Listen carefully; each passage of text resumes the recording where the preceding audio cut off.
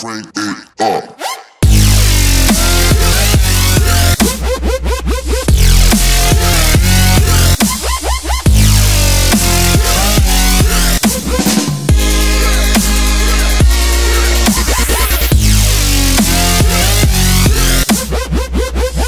Mitt navn er Pia Seberg, og jeg jobber som PT, mentaltrener, og så driver jeg nettstedet piaseberg.no. 22. og 23. april skal jeg få lov til å være med på Connected Experience Convention. Målet er å kombinere teknologi og trening som kommer til å gi oss tidenes opplevelse. Jeg gleder meg, og jeg håper jeg treffer deg.